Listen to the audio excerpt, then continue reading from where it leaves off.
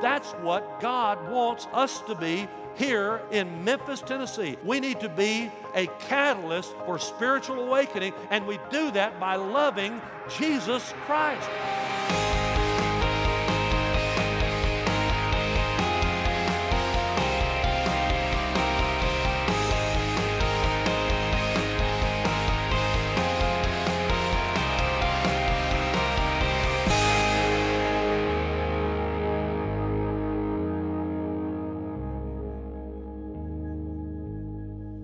Good morning, and thanks for joining us for today's program. Today, we'll be picking back up in our series through the book of Acts. Have your Bibles ready and join us as we learn how God worked through the New Testament church. We'll also be joining Donna Gaines for her spring Bible study series, Home Builders Embracing the Art of the Home. And we'll enjoy some great worship from our choir, orchestra, and worship band. And if you're looking for encouragement to get through the week or want to catch up on recent messages, go online and check out our audio and video on demand at bellevue.org.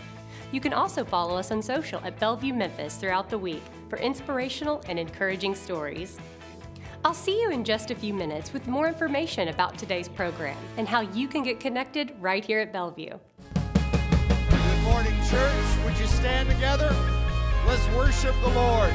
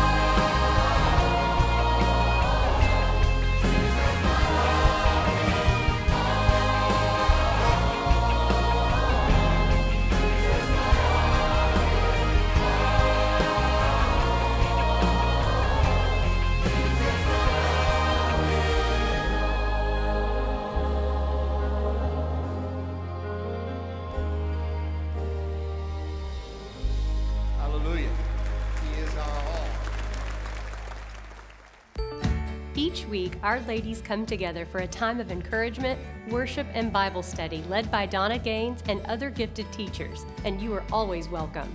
This semester, we are learning how to skillfully build stable homes and how to establish them on a righteous foundation. Stay with us for the next few minutes for our study on home builders, embracing the art of the home. This past week, you've been studying about prayer. And so today, we're going to talk about how we can utilize the Word of God to ignite and hopefully reinvigorate your prayer life. You know, sometimes we when we think about prayer, instead of getting excited, we feel guilty. Because all of us know that we should be praying, and yet a lot of us, like me included, go through seasons where I know I'm not praying as much as I should. I'm not spending as much time in the presence of God. And sometimes I allow other things to distract me and to suck up my time that I should be spending with the Lord. And then God will draw me to Himself and through His sweet and tender spirit, remind me that my time with Him is not an option, that it is a necessity for me to be able to walk in the Spirit, to be in tune with Him, to walk and talk with Him on a daily basis, for He is my lifeline. E.M. Bounds said, The Word of God is the food by which prayer is nourished and made strong. Psalm 119, 105 says that God's Word is a lamp unto our feet and a light unto our path.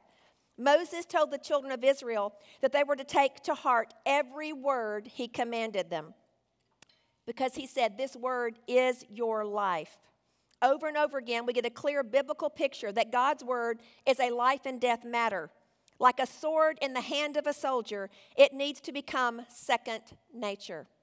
So I want us to look at Deuteronomy chapter 6 briefly as we think about how prominent the word should be in our lives our physical lives, but also in our physical homes, if we're really going to be able to make God's word a part of our lives, a part of our prayer lives, if we're going to build our life upon it. What does Deuteronomy 6 4 through 9 say? Hear, O Israel, the Lord is our God, the Lord is one.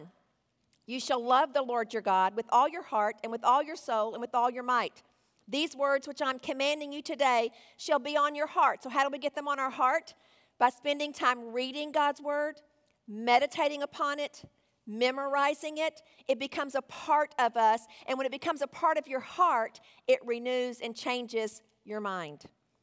Then we are to teach them diligently to our sons and daughters and talk of them when you sit in the house, when you walk by the way, when you lie down, when you rise up. You shall bind them as a sign on your hand, and they shall be as frontals on your forehead. You shall write them on the doorpost of your house and on your gates. So basically, God's word is not only to saturate our lives, but to saturate our physical homes as well, right? So, what we're going to talk about this morning is a way to pray through the scripture as you're reading it or also to pray through it by looking at some of the Psalms each day and take the Word of God and turn it back into prayers. And as you read these verses and meditate upon them and turn them into prayers, you're going to be surprised at the things God will bring into your mind to pray for, the people He will remind you of, things that maybe you didn't have in your prayer notebook, something He'll bring to mind, maybe something you need to ask Him to forgive you for, something you need to confess that you weren't even aware of, a wrong attitude, a wrong motive. God will show you an area maybe where you've been being selfish or holding back in some area. God will speak to you as you're getting into His Word. Why? Because it pierces down between the division of soul and spirit. God uses His Word to get into the innermost parts of our being, the places He alone has access to. So if you're reading the Word of God and turning His Word into prayer, you better believe the Spirit of God is going to be speaking to you. So listen. Listen. Be in tune with His Spirit as He's prompting you about specific things, people, situations to pray for as you're working through that psalm. Donald Whitney says so basically, what you're doing is taking words that originated in the heart and mind of God and circulating them through your heart and mind back to God. By this means, His words become the wings of your prayers. One promise that Steve and I have prayed for our children and grandchildren is Isaiah 49, verse 21. It says, As for me, this is my covenant with them, says the Lord. So, this is a covenant. This is God's will and purpose for us. my spirit which is upon you, and my words which are in your mouth will not depart from your mouth, nor the mouths of your children or offspring, nor the mouths of your children's children forever. Steve has challenged us to at least pray for the next three generations of our own families. This is a great promise to claim. And what did we read last week? The quote that was so powerful from F.B. Meyer God's promises are our inventory of provision. If God has promised it, He will provide it if we will believe, if we will take God at His word and claim His covenant promises. Now, I want you to think about your own personal prayer time. Some of you are going to be honest and you're going to say, you know what, I'm kind of in a rut, or my prayer time is stale, or I'm kind of tired of praying the same old things about the same old things every single day. And obviously, there are some people and some things you're going to pray for every day. But if you begin to pray scripture, God is going to give you a fresh way of praying and a new awareness of ways to pray, even as you're praying for your family. So, what I have done is I want us to turn to Matthew chapter 6. We're going to look at Jesus' teaching on the Lord's Prayer or the model prayer what it actually should be called. And we're going to break down the model prayer into basically specific um, categories that Christ covered in this model prayer of things that we should pray about. And under each one of these, we're going to list a psalm or two that you could utilize in praying through this. Now, obviously, this is a suggestion.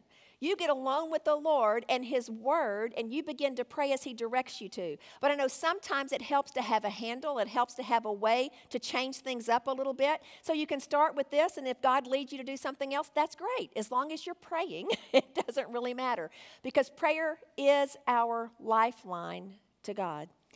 It is how we experience His presence, His intimacy. As we open His Word, as we commune with Him, prayer is a conversation. You would not have a conversation with one of your best friends or with a spouse by coming to them with a list of all the things you want them to do. And yet, that's how we approach God.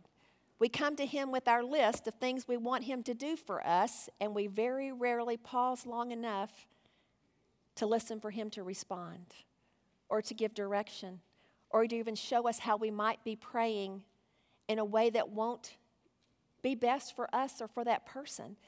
And instead, when we get into His Word, He begins to open our eyes. So in Matthew chapter 6, let's actually begin with verse 5. Jesus said, When you pray, you're not to be like the hypocrites, for they love to stand and pray in the synagogues and on the street corners, so that they may be seen by men. Truly, I say to you, they have their reward in full. But you, when you pray, go into your inner room, close your door, and pray to your Father who is in secret and your Father who sees what is done in secret will reward you. What is he saying? Where's the Father? The Father is in your secret place. The Father is waiting there to meet with you. And whether you actually go into your closet and you have a war room closet like the movie, or you have, like I do, a chair in the corner of a room, or maybe it's the end of your couch, wherever you get alone with God, that becomes your secret place, your time alone with the Lord, your place where you expect to experience His presence and to be intimate with Him. We're going to close this morning. And I want you to open your Bibles to Psalm 23. And I'm going to give you five minutes to pray through this psalm. For some of you, you may not get beyond, The Lord is my shepherd, and thanking Him for being the good shepherd. It doesn't matter. Go as slowly as you want to as you work through it. And I just want you to practice what we've talked about this morning. And remember that when you pray, you are entering that throne room a brilliance beyond our imagination. Know that He is God. Father, meet with us, we pray, as we open your word and allow your words to put wings on our own prayers. In Jesus' name we pray.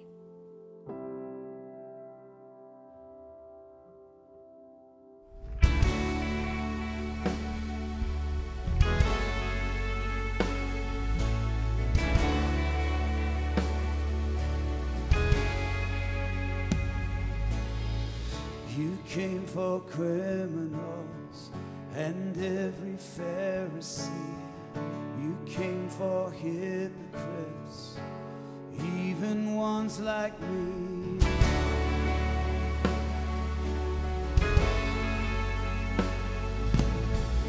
You carried sin and shame, the guilt of every man, the weight of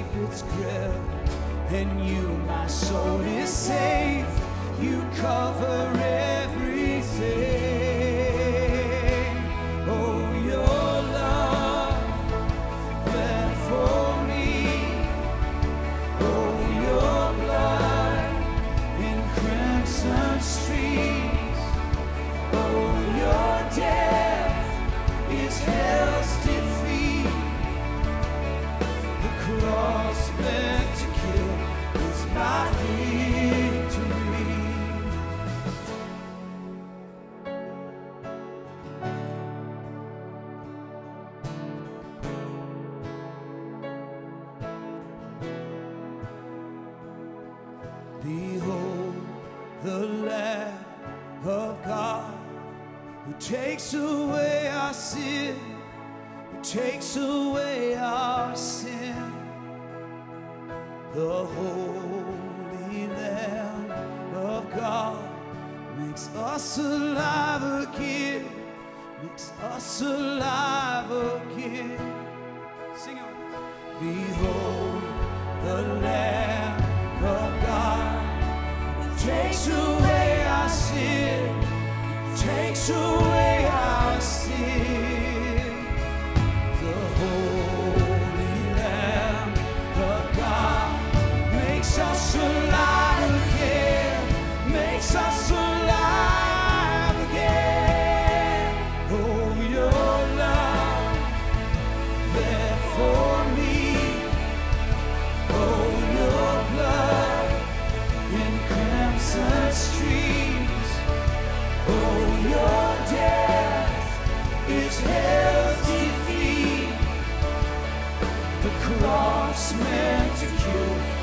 My victory. The cross meant to kill is my victory.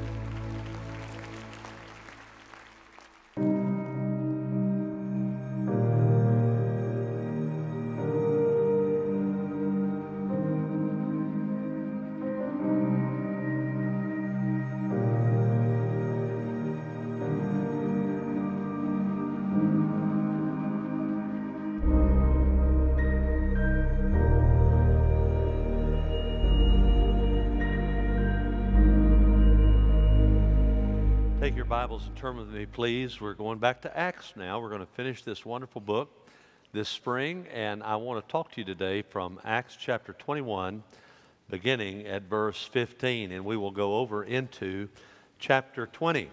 Acts chapter 21, verse 15. I'll be reading that momentarily.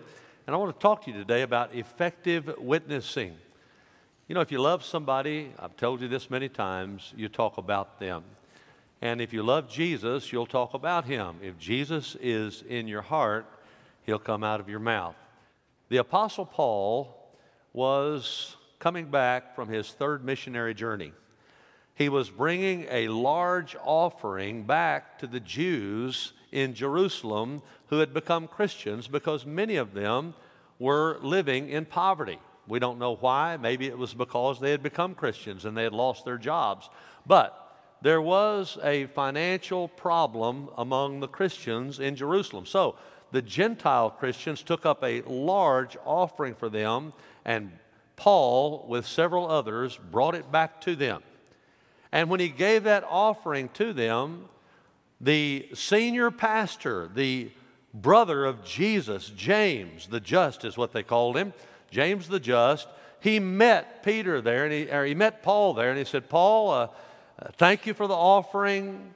See how many thousands upon thousands there are of the Jews who have believed in Jesus, but there's a problem.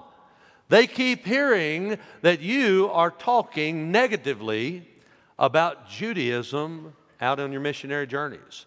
They're hearing that you don't think that people ought to be, when they get saved, they, they don't have to be circumcised. They, uh, they, they, they hear that uh, you don't believe in keeping the law. What are we going to do? And so there's this big problem, and you see Paul comes back. All he wants to do is tell people about Jesus. That's all he wants to do. And yet, he has to give and take with people all the time so that he has that opportunity. So I want you to see today, in one of the, to me, one of the best parts of Acts right here, there's no bad part in it, about requirements for effective witnessing. We're going to cover quite a bit of scripture here, but I believe you will see that it is very applicable to you and to me right now, right here. First is this effective witnessing requires what I refer to as deference. We must become all things to all people. Deference means that you defer to someone. You willingly defer to them. You try to accommodate them. You have to have that spirit if you're going to be a witness for Jesus Christ. Look at chapter 21 of Acts. Look at verse 15. After these days, we got ready. We started on our way up to Jerusalem. Some of the disciples from Caesarea also came with us. When Paul comes back after his third missionary journey, Peter and all the other apostles have left. They're out on their own missionary journeys. And we don't have a lot in the Bible about all that, but we do know that they went other places. And history tells us that many of them, if not all of them, were martyred, but they went out telling people about Christ. And so James is left, and he's the senior pastor here in the church at Jerusalem. Look at verse 19. After he had greeted them, he began to relate one by one the things, this is Paul, which God had done among the Gentiles through his ministry. I love this. He gives a missionary report and he brags on the Lord.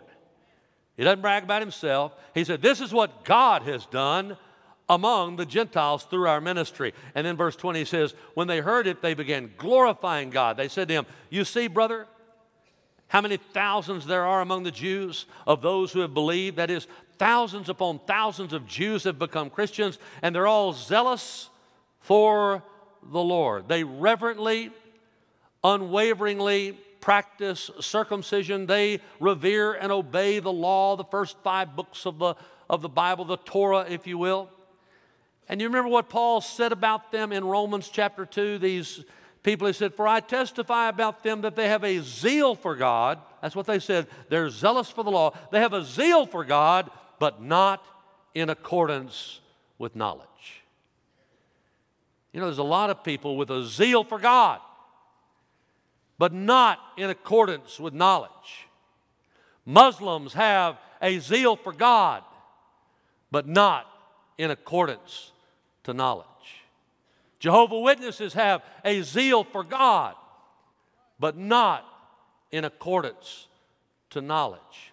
Zeal alone is not enough. Now, if you know Jesus, you'll have zeal, but you can have zeal and not know Jesus. And these people, they did know Jesus, but their zeal was somewhat mistaken because they believed, still believed, even after chapter 15, even after all that they had discussed about the Gentiles not having to be circumcised and all this back in chapter 15. They're still struggling with it, and there's still a bunch of them that said, No, in order to be a Christian, you have to first become a law abiding Jew. Look at verse 21. He says, They have been told about you, Paul. This is James talking to him that you are teaching all the Jews who are among the Gentiles to forsake Moses, that is the, the Old Testament law, the Pentateuch, the Torah, telling them not to circumcise their children, nor to walk according to the customs. They, they were circling, circling rumors against Paul. They hated him. They wanted him to go down. They wanted to undermine his ministry. So they either told half truths, truths are outright lies. And you know, someone has well said, even though a rumor does not have a leg to stand on, it can still run mighty fast. Pastor James had, had a suggestion. He thought it could help out. He's trying to help out. Look at verse 22. What then is to be done?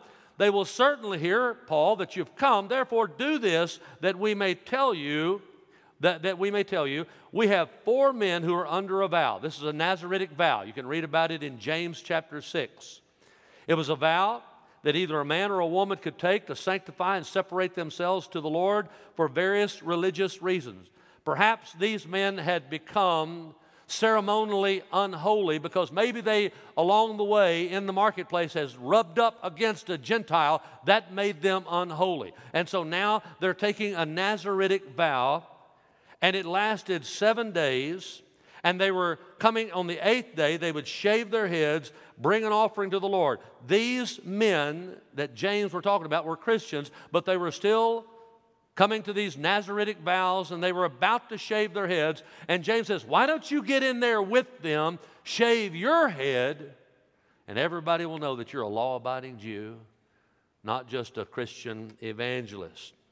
He says that in verse 24. Take them and purify yourselves along with them and pay their expenses so that may, they may shave their heads. And all will know that there's nothing to these things which they've been told about you, but you yourself also walk accordingly, keeping the law. This is not the first time Paul has done something like this. If you go back to Acts chapter 18, verse 18, it says that Cenchrea, he had cut his hair for he was under a vow.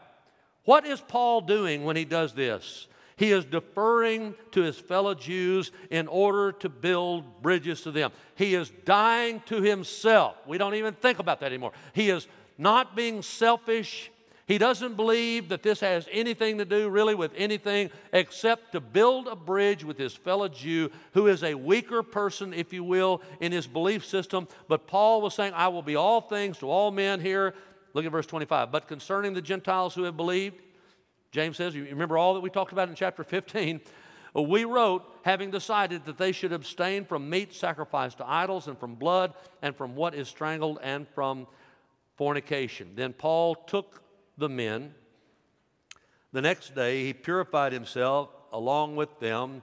He went into the temple. He gave notice of the completion of the days of purification until the sacrifice was offered for each one of them. Paul did not believe this, this was cleansing his sins. Paul was simply trying to, to not just go along to get along, but he was trying to defer so that he could win more people to faith in Jesus Christ. He was deferring, if you will, to the weaker brother. And every one of us ought to be willing to do that in order to win more people to faith in Jesus Christ. What's Paul doing? Don't you remember what he wrote to the Corinthian church in 1 Corinthians 9? Can't you hear it now? For though I am free from all men, I have made myself a slave to all. Where is that in the body now? We want our rights. Paul said, I don't have any rights. I make myself a slave to all so that I may win more. That's the bottom line. To the Jews I became as a Jew so that I might win the Jews. To those who are under the law, as under the law, though not being myself under the law, so that I might win those who are under the law. To those who are without law, that's the Gentiles, as without law, though not being without the law of God, but under the law of Christ, so that I might win those who are without law. To the weak, I became weak, that I might win the weak. And here it is I have become all things to all men, so that I may by all means save some. I do all things for the sake of the gospel so that I may become a fellow partaker of it. That's more important than you having your way or me having my way. Churches and Christians must use deference, putting lost people first in order to win them to Christ. If you refuse this approach, you're not only short sighted, but you're selfish. The gospel of Jesus never changes. But sometimes you have to new, use new methods to reach people in this day. God, God is an innovator, if you will. He is somebody that will put a fresh thing. God is all about doing new things. One of the dangers of getting older is just relying on experience when God may be wanting to do a brand new thing in your life. Hear me today. You have to defer. You can't always say, This is the way we've done it, this is the way we do it, this is the way my mother did it, and my parents did it, and my grandparents did it. We've always done it this way at this church, and if you don't like it, go somewhere else. And you know what? They will. And you'll be sitting there one day alone, holding the key, and you're the last one standing. And you'll give it to some church that wants to grow. I'm telling you, I'm telling you, deference being all things to all people is a must for a soul winner. I got more to say about that, but I'll go to number two. Effective witnessing requires determination, not just deference. Not only must we become all things to all people and defer to other people, but we must also be determined. We must anticipate opposition and persecution. And you'd better be anticipating that in America. Look at chapter 21, verse 27. When the seven days were almost over, the Jews from Asia, upon seeing him in the temple, James said, Oh, just go to the temple. It'll be a great idea. Bad idea, James. They saw him in the temple. They began to stir up all the crowd. They laid their hands on them. This was not ordination.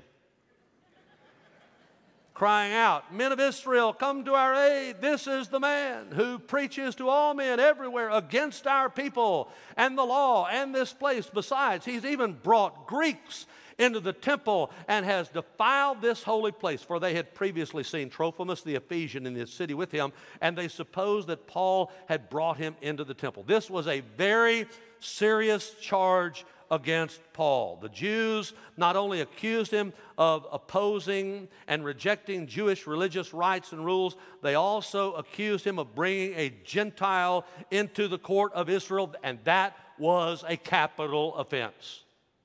Even the Romans said, You Jews, if, if, if somebody brings a Gentile into the court of Israel, you have our permission. Even if they're a Roman citizen, you have our permission to put them to death. I mean, it's a serious thing that they're accused. They saw Trophimus with him earlier and they said, Well, surely he brought this, this guy from Ephesus, this Gentile, into the temple. And there, there, were, there were warning signs all around this court you can go to the court of the Gentiles, but if you cross this line, we will kill you if you're a Gentile. Don't do it. I mean, Paul was in trouble. He was in trouble. Look at verse 30. Then all the city was provoked, and the people rushed together, and taking hold of him, they dragged him out of the temple, and immediately the doors were shut. Isn't that something? The temple doorkeepers did not want the beating of Paul in the inner court to disturb and interrupt their worship in the inner court. Well, that was so sweet of them. But by divine providence, God had somebody ready, a pagan guy, to rescue Paul, and he was the head of the Roman forces. Look at verse 31. While they were seeking to kill him, a report came up to the commander of the Roman cohort that all Jerusalem was in confusion. At once, he took along some soldiers They'd come from the area called Antonia and the centurions, and they ran down to them. The centurions meant there were at least 200 soldiers with them. It's plural there. They ran down to them, and when they saw the commander, that is the Jews that were beating Paul, they stopped beating Paul. Then the commander came up, took hold of him, ordered him to be bound with two chains. He began asking who he was and what he had done. But among the crowd, some were shouting one thing and some another. I've been to a few Baptist business meetings like this.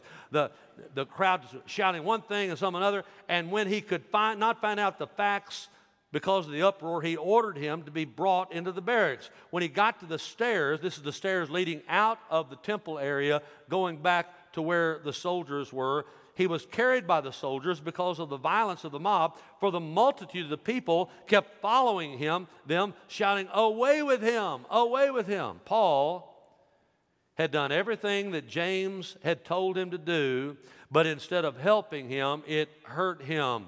He had gone to the temple, he had fulfilled the Nazaritic vow, but instead of the Jews applauding, they attacked him. But Paul was determined. He had been beaten before, he had been stoned before, he had been stoned, I believe, to death before, and God raised him back from the dead. This is not the first time. This is not his first rodeo, if you will. This is not the first time this guy has been through the wringer. He was a man of Holy Spirit determination. He knew that he should anticipate opposition and persecution. There are Christians all over the world that are being persecuted for their faith in Jesus Christ. But you know what you've got to do when you are persecuted with the Holy Ghost in you? You can persevere and you can be a strong witness for the Lord Jesus Christ. You can be determined I'm not going to let the devil or the world win. I'm not going to be in any way, in any fashion, in any slight mood. I'm not going to be ashamed of the Lord Jesus Christ. I'm going to tell people about Jesus until I go home home, I'm going to be determined to share the gospel of Jesus Christ.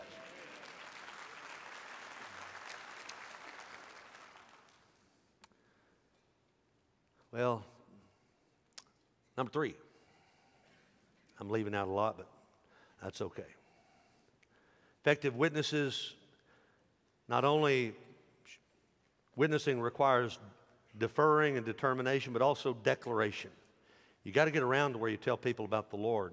You must share your testimony for Jesus. Now, look down in verse 37 in chapter 21.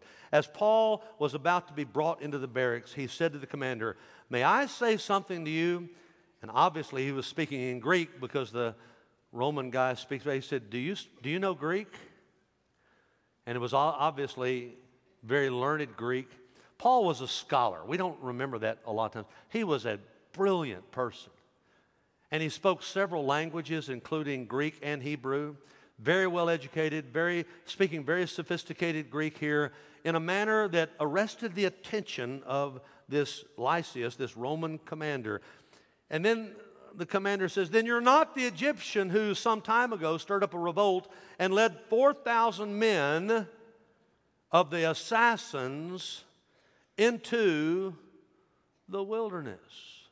Josephus said there were 20 or 30,000 of these men, but he said there were, Luke says there's only 4,000 of them. And, and what he does, he, say, he, he thinks for a minute, he, he had thought that this Egyptian guy that had come earlier and called himself a prophet, and he had led 4,000 Jews, Jewish men, up to the Mount of Olives.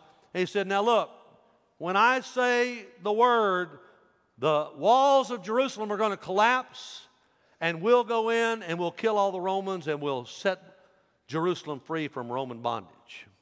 Well, they all gathered over on that hill, and Felix, the governor that would follow Pilate, sent a Roman group over there and killed a bunch of them. They scattered. This guy fled. And so Lysias, the commander here, thinks that this is this guy coming back. And Paul said, I am not that guy. I am not that crazy Egyptian. No, that's not me. In fact, I am a blue blooded Jew. Here's what he says in verse 39. Paul said, I am a Jew of Tarsus in Cilicia, a citizen of no insignificant city. I beg you, allow me to speak to the people. And when he had given him permission, Paul stands up. Now, he had impressed this guy with Greek. Now he's about to impress the listeners who are Jews with Hebrew. Watch this standing up on the stairs, motioning to the people with his hand. It says that over and over. I'd like to see what that motion is. I don't know if it's like, I don't know what it is, but something Paul did when he spoke. He motioned with his hands, and the Bible said, listen to this. The Bible says, when they, there was a great hush, he spoke to them in the Hebrew dialect. And he says in verse 20, verse chapter 21, verse 1 now, Brethren and fathers, hear my defense, which I now offer to you. These are the same exact words that Deacon Stephen used back in chapter 7, verse 2, when he was giving his speech in the same area and he would die. Stephen would die. Same opening words. Hear my defense, which I now offer to you. Verse 2. And when they had heard that he was addressing them in the Hebrew dialect, they became even more quiet. And he said, I'm a Jew. I was born in Tarshish of Cilicia I was brought up in this city. I was educated under Gamaliel, strictly according to the law of our fathers, being zealous for God, as you also are today. I persecuted this way, talking about Christianity, to the death, binding and putting both men and women into prisons as also the high priest and all the high council and the elders can testify. From them I also received letters to the brethren and started off for Damascus in order to bring even those who were with who were there, talking about the Christians, to Jerusalem as prisoners to be punished. But it happened. I like that. It's always in the book of Acts. It happened. It happened that as I was on my way approaching Damascus about noontime, a very bright light suddenly flashed from heaven all around me. Who is this light? The Lord Jesus Christ, the light of the world, John 8 12. And I fell to the ground and I heard a voice, heard a voice saying to me, Saul, Saul. Why are you persecuting me? And I answered, Who are you, Lord? And he said, I am Jesus the Nazarene, whom you're persecuting. Don't miss this. It's the most important moment up to this point in Paul's life. He had been saying, Jesus is a hoax, Jesus is a fake. Jesus was crucified, and because Deuteronomy says that anybody crucified is under the curse of God, Jesus cannot be the Messiah because he was crucified and he's buried and he did not rise from the dead. And the very Jesus that Paul denied had risen from the dead, denied was the Messiah, now is standing there looking at him and he's saying, Hey, I am alive. I am the Messiah. Why are you persecuting me? Don't you love that? When you touch the people of God, you touch God Himself. When you touch the church, you touch the Christ. Jesus said, You're, you're, you're hurting me. You're persecuting me when you hurt my people and kill them. I am Jesus the Nazarene. All of a sudden, Paul realizes Jesus, who'd been crucified and had died, was alive. And Paul continues his testimony. Verse 9 those who were with me saw the light, to be sure, but did not understand the voice of the one who was speaking to me. And I said, What shall I do, Lord? He said, Get up. Go on into Damascus, and there you will be told of all that has been appointed for you to do. But since I could not see because of the brightness of the light, I was led by the hand by those who were with me and came into Damascus. We know, according to other texts in Acts, exactly where he went. He went to the house of a man named Judas on Straight Street. Then God sent a soul winner named Ananias to share the gospel with him so he could get saved. Look at verse 12. A certain Ananias, a man who was devout by the standards of the law, well spoken of by all the Jews who lived there, came to me, standing near, said to me, Brother Saul, this was the brother re- reference as a fellow Hebrew, as a fellow Jew. He was not referring to him as a Christian. Paul did the same thing in Acts chapter uh, or in Romans chapter 9 when he says, My heart's desires for my brethren, the Jews who are lost, is that they would be saved. He said, I'd die and even forfeit my salvation if they could be saved. He called them brethren, but they weren't brethren as Christians, they were brothers as in Jews. Paul was not converted yet either. Look at verse 13. Receive your sight. Ananias said, At that very moment, I looked up at him. He said, The God of our fathers has appointed you to know his will and to see the righteous one, to hear the utterance from his mouth. For you will be, not yet, but you will be a witness for him to all men of what you have seen and heard. He was not a witness yet for Christ, but he was about to be. And here we see Ananias urge him persuade him, not manipulate him, but urge him to be saved right then and there. Look at verse 16. To me, one of the most important verses in the whole book of Acts. Now, why do you delay? There's something that Baptist preachers are stopping to do. They don't want to urge anybody to get saved anymore. They are so afraid of manipulating somebody that they don't want to press in and say, You need to be saved right now. Let me just tell you where I am on that right now. Look at me. You need to be saved right now. If you're lost, you don't need to wait to the end of this sermon. You don't know if Jesus is going to come back. You need to give your heart to Christ even while I'm preaching this sermon. Don't wait. I persuade you. I don't manipulate you, but I beg you, I urge you. It is time is running out. You don't have all the time you think you do. You're going to be standing before God, and if you didn't stand before him without Jesus, you're going to die and go to hell. That's what the Bible says. That's what the Bible says. But if you come to Christ and repent of your sins and believe savingly in Jesus, whosoever, I don't care what you've done, whosoever shall call upon the name of the Lord shall be saved. I urge you, be saved today. That's what he's saying. He said, Why do you delay? Why do you delay? Why? Why not tonight? Oh, why not tonight? Wouldst thou be saved? Oh, why not tonight? Why don't we sing songs like that anymore? This shows me right here, Paul was not yet saved. Look at this.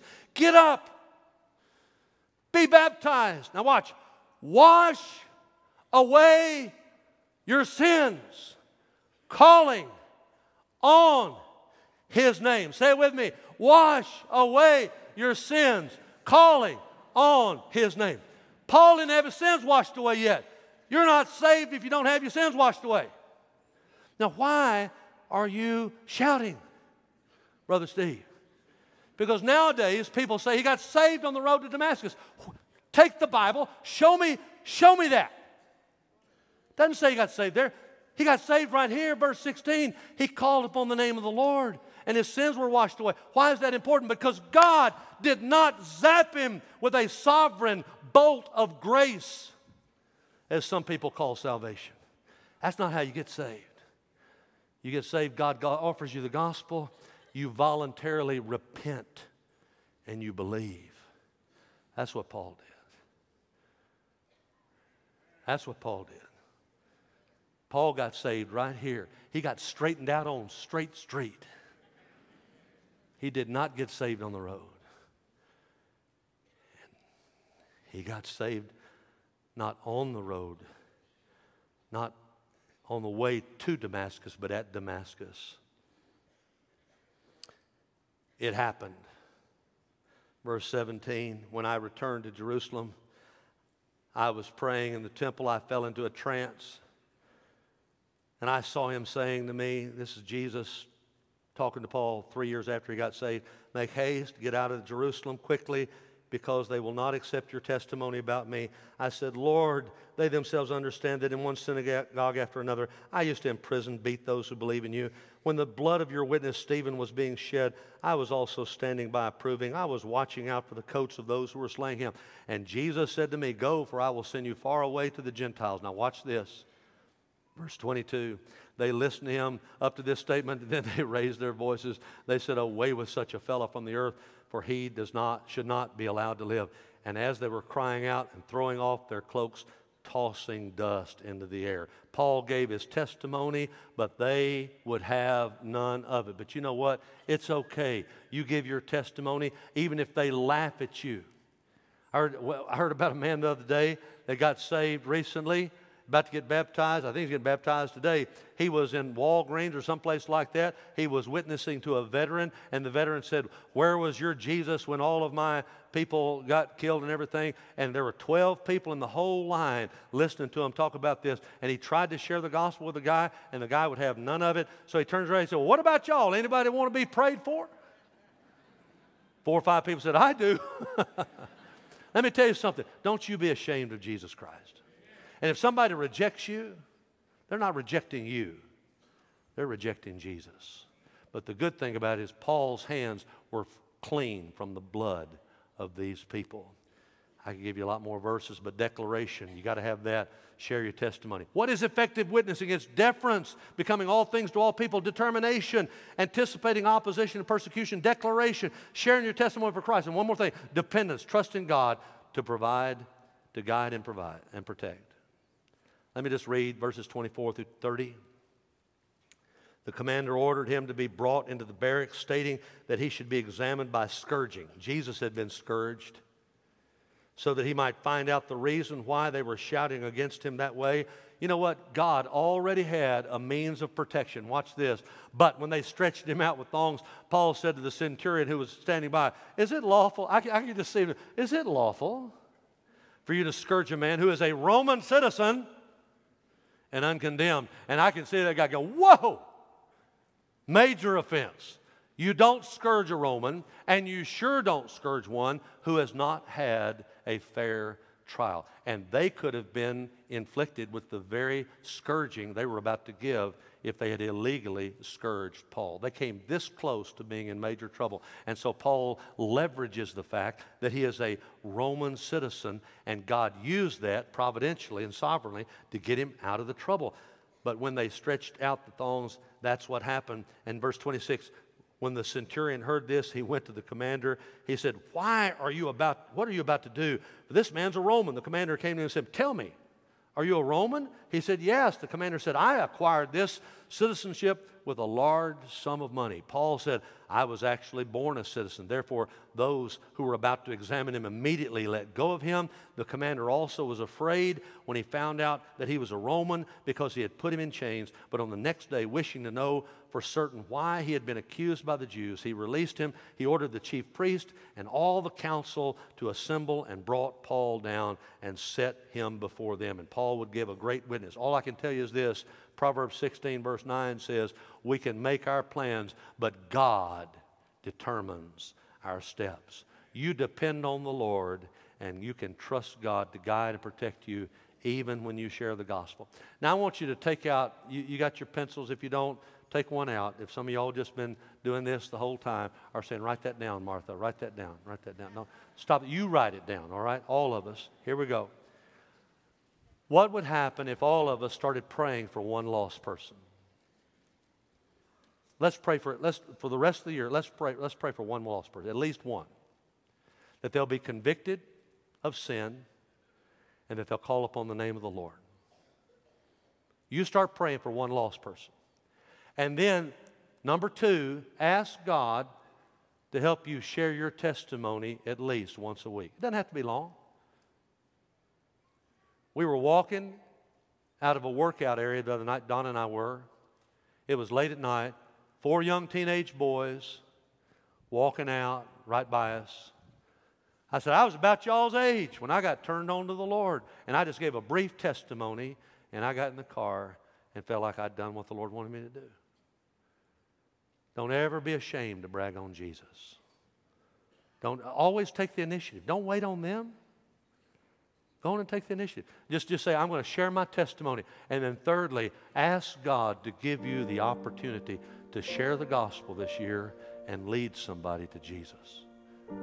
Pray for people, share your testimony, share the gospel. Will you do it?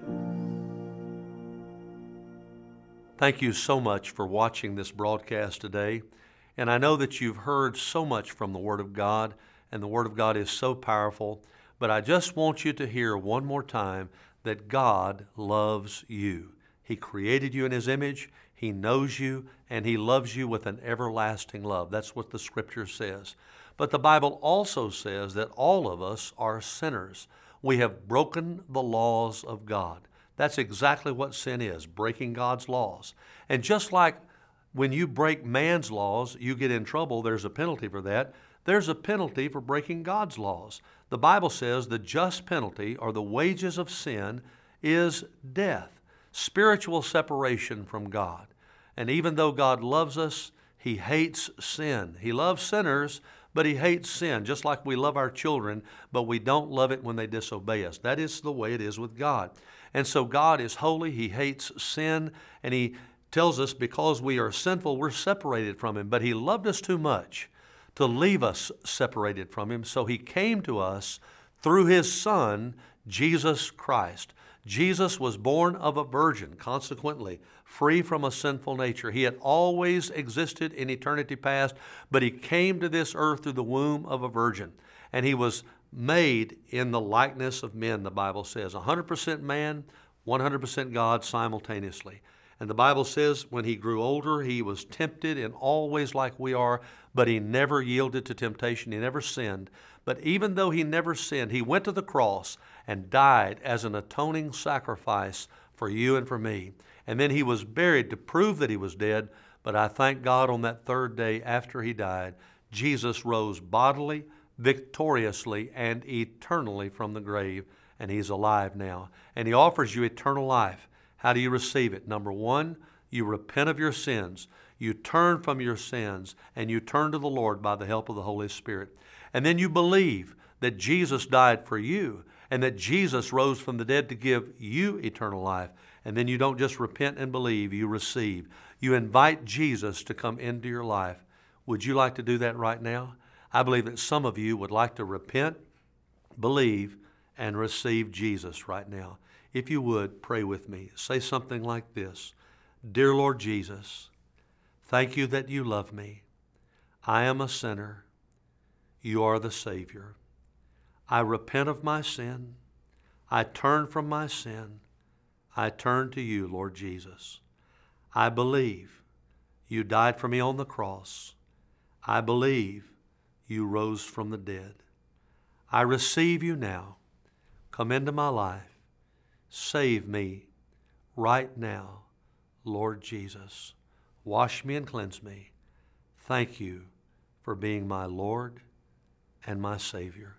In Jesus' name, amen.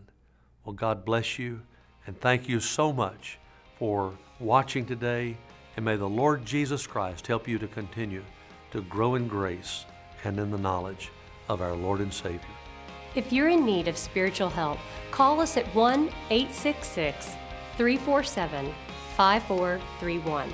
There are caring people waiting right now to take your call. For more information about Bellevue, explore our website at bellevue.org, where you can catch up on recent messages from Pastor Steve and other great teachers through our audio and video on demand.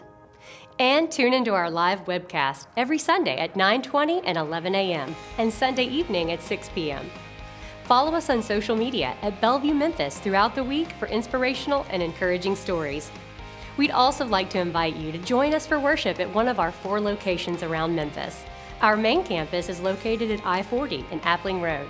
You're always welcome, and there's a place for your family to worship and connect. Check out bellevue.org for a complete list of worship times. We look forward to seeing you soon.